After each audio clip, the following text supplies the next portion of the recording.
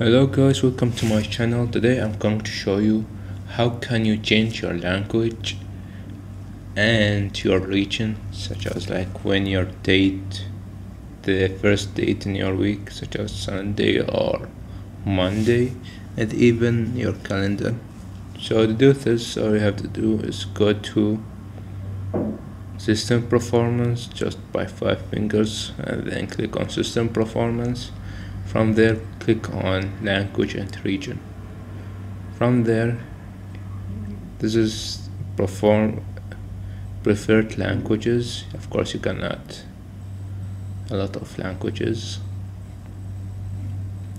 And then just click on anyone and click on add.